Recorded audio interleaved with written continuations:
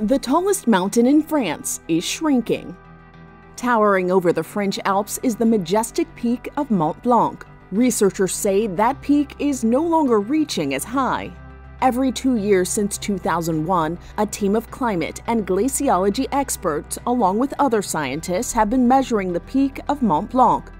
This September, about 20 people scaled the mountain and spent several days taking measurements. Their goal? To assess the effects of climate change on this mountain.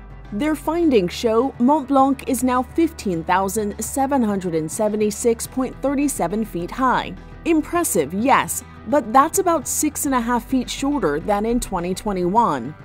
Recent studies have shown alpine glaciers have lost about one third of their volume between the years 2000 and 2020, and glaciers in Switzerland shrank 10% of their overall volume in the last two years alone.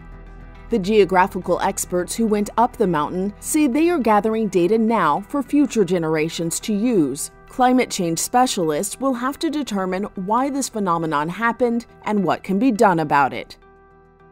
For Inside Edition Digital, I'm TC Newman.